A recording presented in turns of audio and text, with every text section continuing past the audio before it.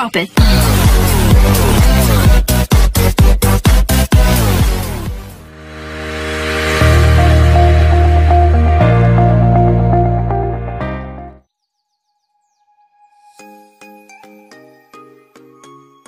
Assalamualaikum warahmatullahi wabarakatuh Halo para sahabat Leslar di mana pun kalian berada Selamat sore, selamat berjumpa kembali tentunya bersama Mimin di channel Youtube Leslar Channel.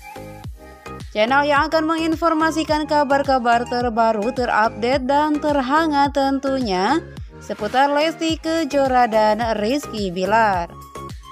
Namun bagi para sahabat Leslar yang baru menemukan channel ini, jangan lupa untuk mendukung channel ini dengan cara mengklik tombol subscribe dan hidupkan juga tanda lonceng notifikasi supaya sahabat tidak ketinggalan kabar dan info terbaru dari Leslar Channel.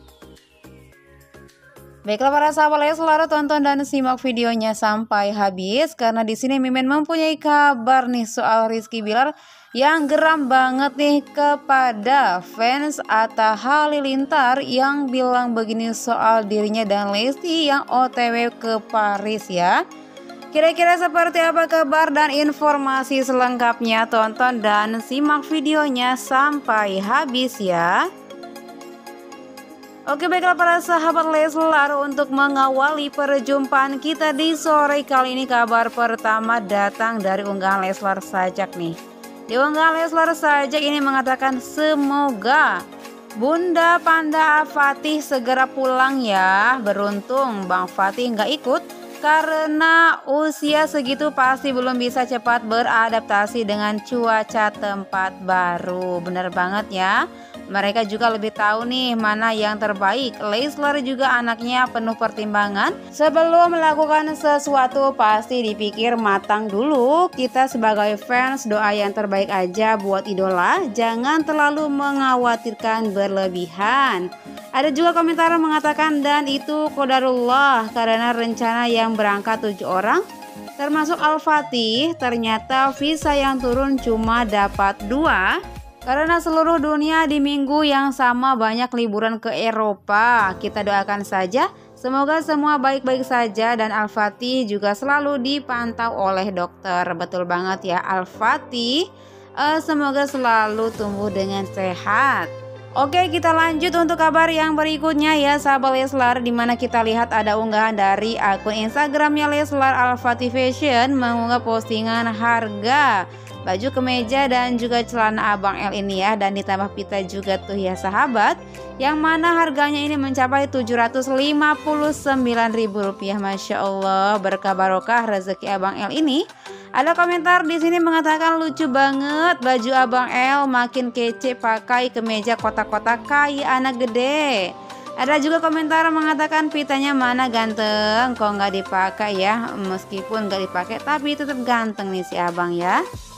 Oke kita lanjut untuk kabar berikutnya. Kita lihat ada unggahan dari akun instagramnya L2W.id nih sahabat Yang mana dalam unggahan L2W ini mengatakan Leslar dan Leslar Lovers nggak pernah nyenggol Kalau nggak disenggol duluan Lebih baik urus idola kalian Jangan idola kami, kalian juga sering mantau akun-akun kami padahal kami sibuk dengan proyek dan program kemanusiaan. Betul banget nih pada sahabat Leslar, Leslar dan juga Leslar Lovers selalu sibuk dengan hal-hal yang positif ya. Yang mana dalam unggahan ini pun banjir komentar mengatakan mantap min. Dan ada juga komentar mengatakan kasihan idolanya dan teman-teman sefandomnya nggak menarik makanya mantau Leslar dan warga Konoha mulu ya. Dan kita lihat nih unggahan IGS terbaru dari Papa Rizky Bilar yang mana di sini ia merepost unggahan salah satu akun fans dari Atta Aurel ya yang mengatakan yaitu dari Harley Julia. Di sini mengatakan ke Paris gratisan aja bangga. Atta Aurel dari masih kecil udah keliling dunia. Sama keluarganya beda kelas say lagian mereka juga nggak mau ninggalin anaknya cuma buat nonton bola. Amina segala-galanya harta tak ternilai di hidup mereka. Dan dibalas oleh akun @lc.laksana yang membalas komentar tersebut mengatakan iya gratisan aja sombong fansnya itu kasihan ya malu-maluin baru lima bulan udah dikasih makan.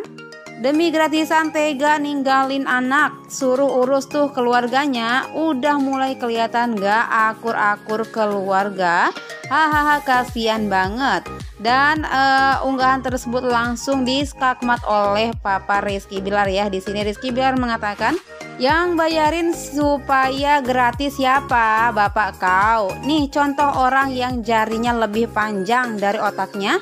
Gua tuh dari awal ngajuin visa untuk beberapa orang dan karena dadakan kita jadi pesen tiket sama visa itu barengan. Jadi ya kalau visa ditolak visa hangus belum tiket nonton Bapak lu sponsornya mau bayarin tiket final. Emang lu ada lihat gua post travel atau sebagainya? Terlalu mendewakan orang lain sampai harus merendahkan yang lainnya. Shame on you, tulis Rizky Bilar. Dan kita lihat unggahan berikutnya slide unggahan eh, dari IGS Papa Bilar di mana di sini ada mengatakan Salam Bilar, kalau di D1 gimana? Itu yang di bagian Liverpool malah. Ya sih, kalau yang S15 itu agak tinggi, cuma bagus aja sih. Tapi satu deretan ama halfway lane sih katanya ya.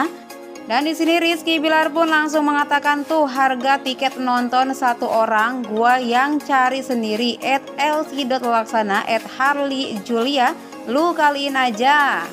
Gua nggak pernah begini kalau nggak diremehin Orang mood lagi kacau bikin orang makin keki aja lu Tulis Rizky Bilar sambil mengunggah postingan harga tiket e, nonton bola e, untuk pertandingan Liverpool dan juga Real Madrid ya sahabat yang mana dalam unggahan ini pun dari para warganet tentunya mengatakan jarinya liar banget ngetik nggak pakai mikir perasaan orang lain Padahal dia nggak tahu apa-apa tapi seperti tahu segalanya aja tentang Leslar. Ada juga komentar mengatakan kaget loh abang post ini udah bikin gedek berarti. Mau bikin artisnya bangga karena fansnya eh malah malu-maluin diri sendiri sama artisnya ya. Ada juga komentar mengatakan akunnya hilang yang di tag sama Bilar kena mental nggak tuh katanya ya Masya Allah langsung digembok nih sahabat langsung ngumpet ya akun yang uh, menjelekan nama Rizky Bilar. Pokoknya kita doakan saja yang terbaik ya untuk Papa Bilar nih uh, dan juga Bunda Lesti. Semoga selalu dalam lindungan Allah Subhanahu wa taala serta diberikan kesabaran selalu ya. Amin ya robbal alamin. Oke baiklah sahabat itu saja kabar update yang bisa Mimin sampaikan di sore kali ini. Terima kasih sudah menonton video ini sampai akhir.